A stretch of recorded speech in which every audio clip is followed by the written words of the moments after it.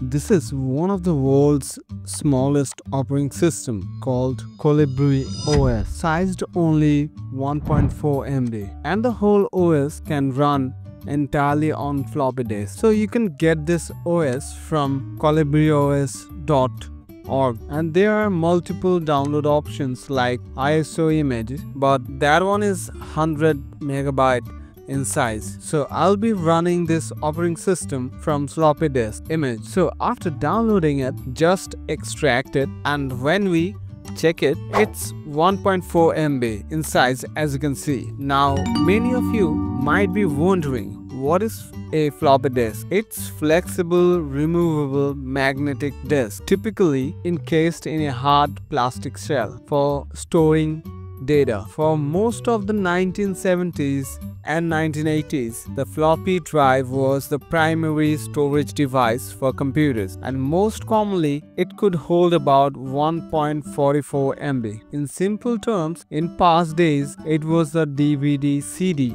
or modern day pen drive or external hard drive, a secondary storage device. Kolibri OS is not Windows or Linux based. Rather, it is written in assembly language. Website state its need 12 MB of RAM to run, but as I am feeling generous today, so I'll be giving it the whole 64 MB RAM today. Now, now we need to set the option to boot it from floppy disk and give it the image file that we downloaded. We can start up our VM and we will see this blue screen. And just like that it boots up from floppy disk no installation needed. It just runs straight away. Now let us explore the os as you can see it has a start menu. This os has so many weird and random application bundle for examples, in 2D and 3D demos, we have some random 2D and 3D screensavers type graphics. In graphics, we have Kolibri Image Viewer to open and view image. ZC Image Viewer, it is default image viewer. So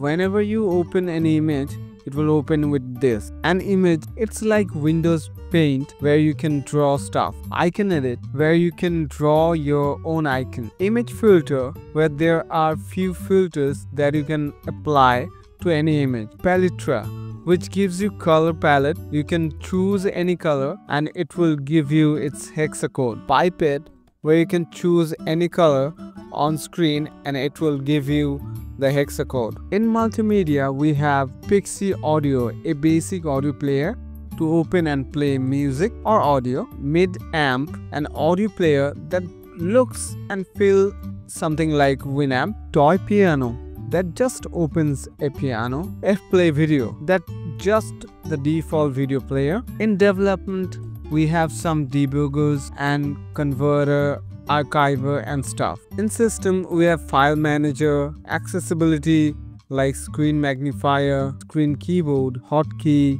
calendar, process manager like task manager, terminal, shell and stuff. In data processing, we have calculator, calculator plus, tinypad, just a notepad, code edit, a old code editor that support old coding languages, table process like spreadsheet but older version basic one graph builder unarchiver. In network we have some network internet connection related stuff. In other we have emulators analog clock binary clock that looks cool FB2 reader timer screenshotter and stuff. In game center we have some games in system panel, it's like control panel. We have documentation about the system. Then we have search and run. Then on the last, we have shutdown. Hope you guys have enjoyed this video.